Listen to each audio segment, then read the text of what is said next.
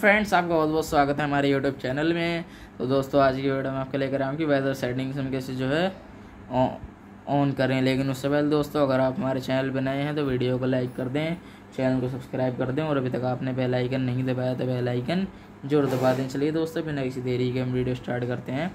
सबसे पहले आपको अपने फ़ोन की सेटिंग में जाना है। सेटिंग में जाने के बाद दोस्तों, यहाँ पर आपको देखने को मिलेगा मोर कनेक्शन मोर कनेक्शन पे क्लिक करें। क्लिक करने के बाद दोस्तों यहाँ पे आपको देखने को मिलेगा।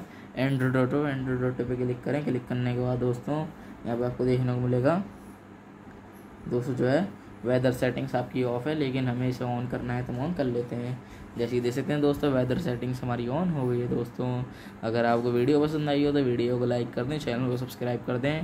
बेल आइकन दबाना ना भूलें। मिलते हैं नेक्स्ट वीडियो में। Thank you vice in the next video